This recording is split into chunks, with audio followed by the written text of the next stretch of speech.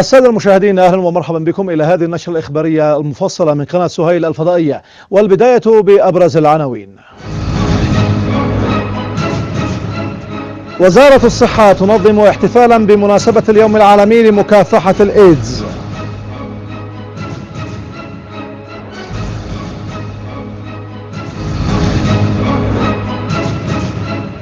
صنعاء تدشين الحملة الرابعة لإغاثة الشعب السوري.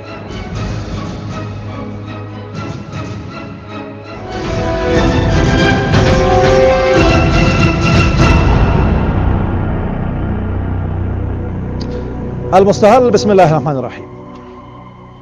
نظمت وزارة الصحة العامة والسكان البرنامج الوطني لمكافحة الإيدز والأمراض المنقولة جنسيا اليوم بصنعاء احتفالا بمناسبة تدشين أنشطة اليوم العالمي لمكافحة الإيدز والحملة الوطنية للمشورة والفحص. وفي الاحتفال أشار وكيل وزارة الصحة العامة والسكان الدكتور ماجد الجنيدي إلى أن مرض الإيدز مثل على مدى العقود الثلاثة الماضية أولوية صحية على مستوى جميع دول العالم واهتماما عاليا من قبل المنظمات المانحة وذلك وذات العلاقة. وأعرب عن أسفه في أن في أن إقليم الشرق المتوسط الذي توجد فيه اليمن ما زال يعد من الأقاليم الأعلى في تزايد عدد حالات الإصابة في حين أن عددا كبيرا من الأقاليم بدأت الإصابات فيها بالانحسار. وأكد وكيل وزارة الصحة أن المعرفة والوعي بهذا المرض يعدان من الركائز الرئيسية التي يمكن أن تحمي المجتمعات من هذا المرض. مدير البرنامج الوطني لمكافحة الإيدز الدكتور عبد الحميد الصهيبي من جهته ذكر أن العدد التراكمي الرسمي للحالات المسجلة حتى الآن وصل إلى 3900 حالة مشيرا إلى أن اليمن ما زالت تصنف من ضمن الدول ذات معدل الانتشار المنخفض.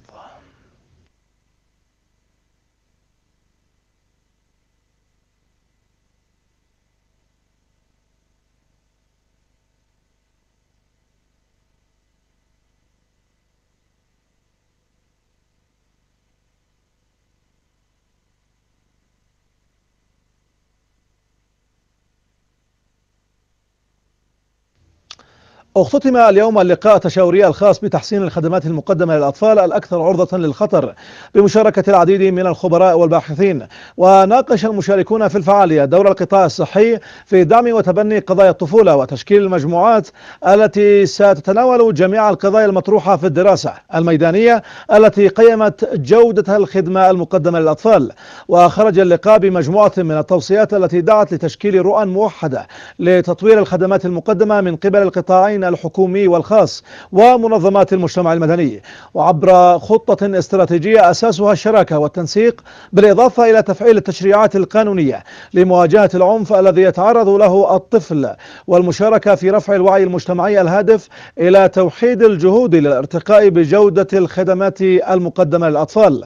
وفي الختام أعلن الاتحاد الدولي للمخترعين عن تقديم جائزة الجدارة والتميز والمقدمة للمؤسسات المتفردة في خدماتها المقدمة للطفولة.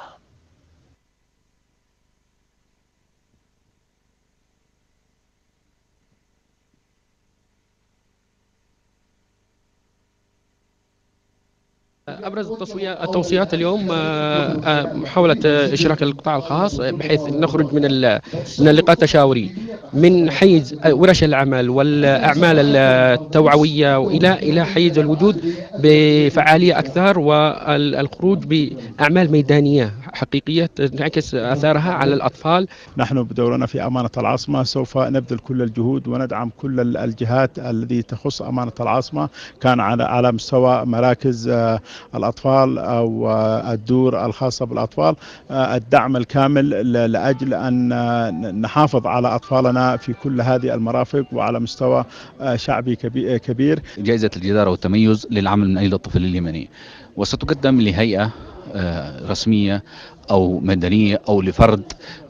لذلك الفرد أو الهيئة التي تقدم أفضل ما يمكن من أجل هذا الطفل. بعد مرور عامين من توقيع المبادرة الخليجية ما تزال اليمن تشهد العديد من العراقيل والتحديات لمحاولة إفشال حكومة الوفاق وعملية التغيير والمرحلة الانتقالية. اليمن في عامين إنجازات وتحديات عراقيل ومطالب في تقرير الزميل بلال الصبري. مضى عامان من توقيع المبادرة الخليجية وانطلاق المرحلة الانتقالية. جملة من التحديات والإنجازات والمعوقات رافقت العامين. أنجز النظام الحالي جملة من النقاط في مختلف المجالات منها في الجانب السياسي إنجاز حوالي 90% من الحوار الوطني إنجاح الوفاق في الحكومة بشكل كبير. وفي الجانب الاقتصادي توظيف سبعين ألف مواطن وتوفير المرتبات المستحقة توفير حقوق إضافية لنسبة كبيرة من موظفي الحكومة. توفير احتياطيا كاف في البنك المركزي لمنع التدهور المالي. أما في الجوانب الأمنية والعسكرية هيكلة الجيش والأمن بشكل كبير. تغيير بسيط في مؤسسات الدولة والحكومة. ويرى مراقبون أنه لولا وجود عدد من التحديات لكانت الإنجازات أكثر. ومن هذه التحديات الأمنية تتمثل في الانفلات الأمني وبروز القاعدة والحراك المسلح وجماعة الحوثي المسلحة. أما التحديات الاقتصادية تشكيل حكومة الوفاق بدون سيولة مالية كافية. إعادة إعمار ما خلفته الأحداث التي رافقت الثورة. تواصل الفساد المالي في مؤسسات الدولة من قبل رموز النظام السابق. التحديات السياسية. تغليب بعض الأطراف لمصالحها على مصلحة الوطن. التوافق ومخرجات الحوار الوطني. وهناك عراقيل مسيسة لمحاولة تقويض المرحلة الانتقالية. ومن هذه العراقيل الابتزاز السياسي في الحوار الوطني وغيره. تسييس ورقة القضية الجنوبية وصعدة وخلق قضايا جديدة. الفوضى الأمنية والاغتيالات والتمرد. تخريب الخدمات العامة كالكهرباء والنفط والإنترنت وإيجاد أزمة وقود من أجل توسيع نقمة الشعب على النظام الحالي والتغيير. لكن الكثير ما يزال ينظر تحقيق جملة من المطالب منها إصلاح الأوضاع الأمنية والاقتصادية. تحقيق ما يمكن من أهداف الثورة. الحد من الفساد المالي المسيس في معظم المؤسسات. إيجاد قضاء نزيه. استكمال هيكلة الجيش والأمن. توقيف المعرقلين عند حدهم. عقد اليوم لقاء موسع في مديرية دمت بمحافظة الضالع ضم قيادات السلطة المحلية بالمديرية ومشايخ وأعيان المنطقة. وكرس اللقاء لمناقشة قضية القطاعات القبلية المتبادلة مع محافظة ذمار وخرج المجتمعون بالاتفاق على الرفض التام لكافة أشكال القطاعات وأعمال النهب التي يقوم بها البعض كرد فعل على ما يتعرض له أبناء المديرية من نهب من قبل عصابات مسلحة في منطقة معبر بمحافظة ذمار قبل نصف شهر. وقال مدير عام المديرية الشيخ سلطان فاضل أن مديرية دمت ستظل سباقة في رفض أعمال التقطع والأعمال الخارجة عن القانون. وقال إن اللقاء خرج بقرارات تمنع القطاعات في المديرية بكافة أشكالها ومن أي جهة كانت وإعادة المنهوبات عبر السلطة المحلية على أن تقوم الأخيرة بالتواصل مع السلطات في ذمار لإعادة المنهوبات وتقديم المتهمين للعدالة. وكانت دمت احتضنت في وقت سابق اتفاقا بين قبائل محافظات الضالع والأحج والبيضاء وإب وذمار يجرم كافة أشكال التقطعات.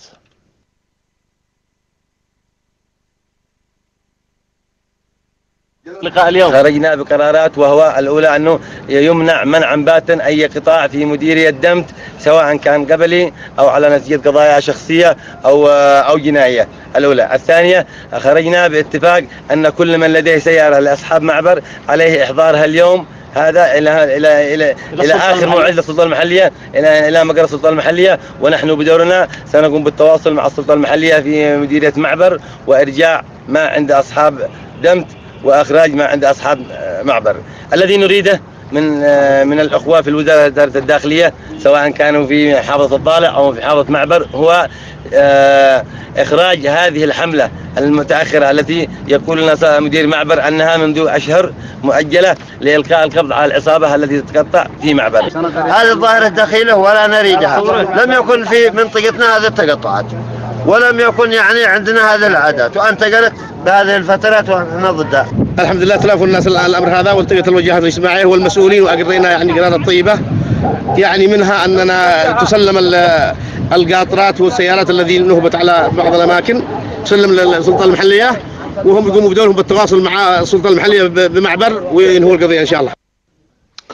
دشنت اليوم وكالة تنمية المنشآت الصغيرة التابعة للصندوق الاجتماعي للتنمية وبتمويل البنك الدولي مشروع وثبة والذي يهدف لتنشيط دور القطاع الخاص وخلق فرص عمل ووثبة مشروع تجريبي يقوم على برنامجين أساسيين. الأول تطوير المنشآت الخاصة من خلال تقديم الخدمات الاستشارية والمساعدة في إعداد وتنفيذ الخطط التطويرية والمساعدة في الوصول إلى أسواق جديدة عبر المشاركة في المعارض الدولية.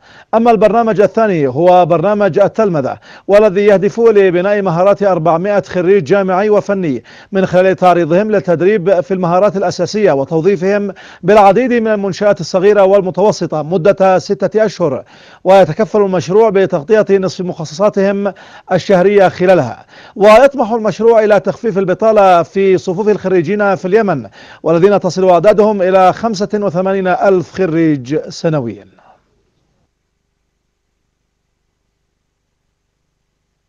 أكثر من 85 ألف خريج سنويا.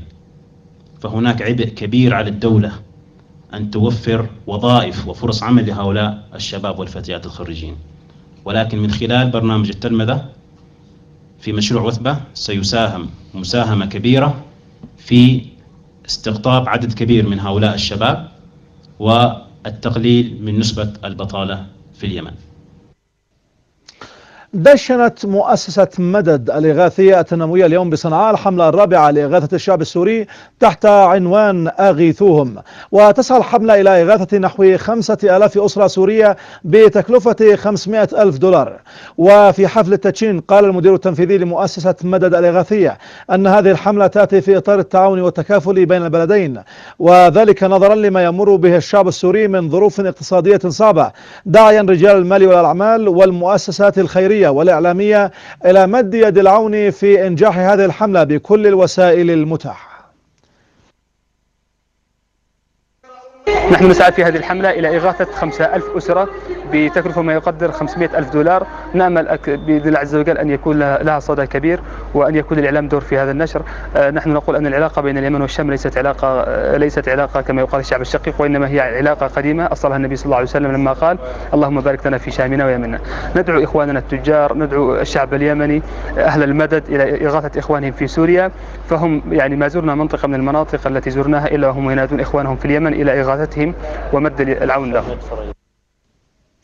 إلى مدينة إب حيث تتواصل فعاليات الأسبوع التضامني مع الشعب الفلسطيني حيث أقامت جمعية الأقسام معرضا للصور بمدرسة الشهيد الصباحي يحوي نماذج من أعمال الجمعية ومشاريعها في فلسطين وصورا لمعاناة الشعب الفلسطيني وصموده. ويهدف المعرض إلى التعريف بتاريخ القضية الفلسطينية وتضحيات الشعب في سبيل الحفاظ على الأرض ورفض الاستسلام للعدو الصهيوني.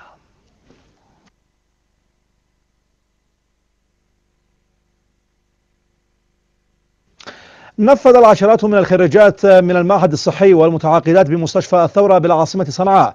وقفة احتجاجية أمام وزارة المالية للمطالبة بتوظيفهن واعتماد درجات وظي... درجات وظيفية للعام 2014 أسوة بزميلاتهن المحتجات البالغ عددهن 69 خريجا ناشدن رئيس الجمهورية وحكومة الوفاق بسرعة النظر إلى مطالبهن واستيعابهن والاستغناء عن الممرضات الأجنبيات. عقدت بعدن اليوم ورشة عمل تعريفية لمشروع تعزيز المشاركة المجتمعية والحكم الرشيد في اليمن بمشاركة 30 من الهيئات الإدارية لمديريتي خور مكسر ودار سعد ومديري, ومديري مكاتب التخطيط وقيادات وممثلين من منظمات المجتمع المدني بالمحافظة. وهدفت الورشة التي نظمتها منظمة أوكسفام الدولية إلى التعريف بأهمية مشروع تعزيز المشاركة المجتمعية والحكم الرشيد الذي يستهدف محافظات الحديدة تعز عدن وحضرموت وخطوات تنفيذه بالتعاون مع السلطة المحلية والجهات المعنية بالمحافظات المعنية.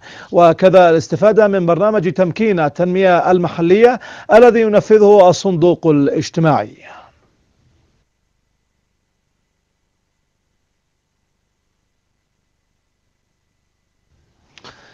أقامت جمعية أجيال مارب اللقاء الأول للسلطة المحلية مع أفراد المجتمع بمنطقة المطار واستمع الحاضرون لما طرحه أبناء المنطقة من صعوبات ومشاكل تواجههم وأبدى السكان استياءهم من الإهمال وضعف البنى التحتية وغياب الأمن. كما طلبوا السلطة المحلية بإيلاء المنطقة اهتماما يليق بها كجزء من مديرية المدينة وطلبوا بتوفير البنى التحتية اللازمة والمرافق الصحية والمدارس والحدائق العامة. وتم إقرار مناقشة بعض المشاكل المشاريع للمنطقة في حلقات قادمة.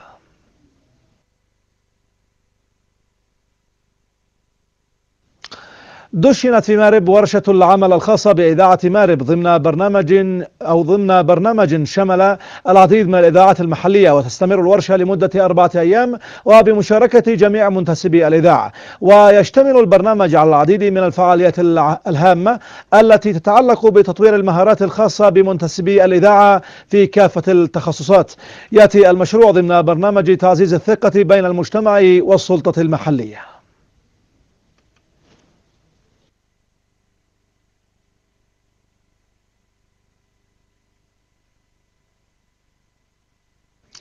إلى المهرة حيث انطلقت يوم أمس في مدينة الغيضة حملة الجود من الموجود. وبمشاركة العديد من الشباب المتطوع لجمع الملابس والبطانيات والأدوية لصالح سكان وادي المسيلة ضمن مشاريع الشتاء لفرع جمعية الإصلاح بالمهرة. وتعتبر منطقة المسيلة بالمهرة من المناطق الأكثر فقرا ومعاناة وتسير جمعية الإصلاح بين فترة وأخرى حملات طبية وإنسانية لمساعدة المواطنين.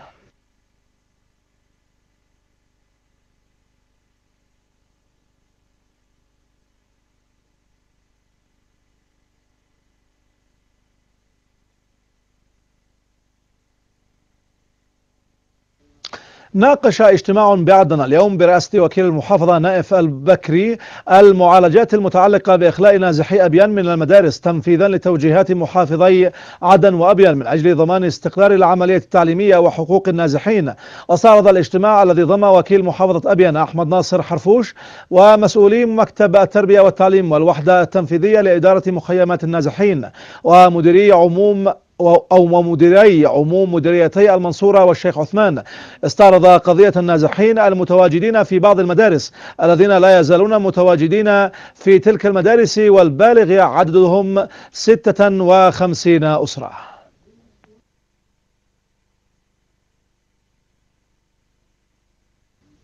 أقام الصندوق الاجتماعي للتنمية بمحافظة إب دورة تدريبية لتدريب مناصري ومناصرات التنمية الريفية من حديثي التخرج من الجامعات. وتهدف الدورة لمناصرة القضايا التنموية في الريف ضمن برنامج روافد والهادف إلى توفير فرص عمل لخريجي الجامعات والإسهام في الحد من البطالة.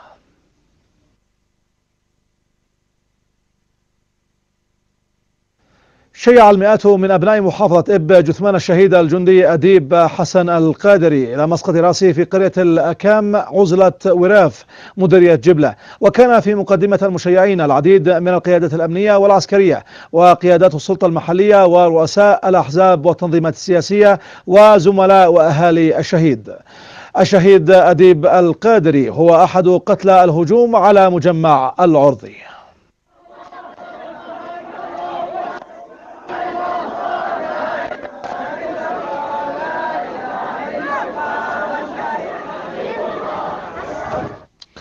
أقامت المبادرة الشبابية لنا بصمة اليوم ندوة توعوية حول أمراض السرطان والضنك وأمراض الدم المختلفة بجامعة تعز بكلية العلوم التطبيقية.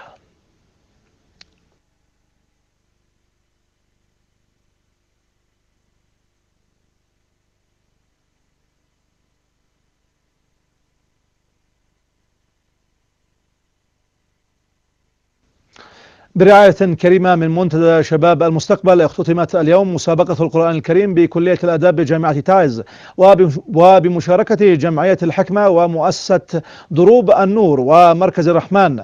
وفي الحفل الذي حضره طلاب وطالبات قسم الدراسات الإسلامية بكلية الآداب تم تكريم الفائزين بالمسابقة.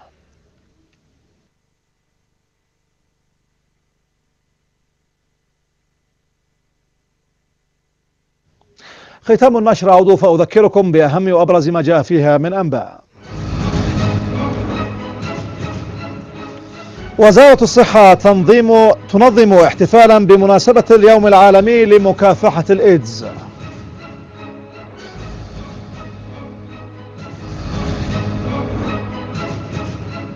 صنعاء تدشين الحملة الرابعة لإغاثة الشعب السوري.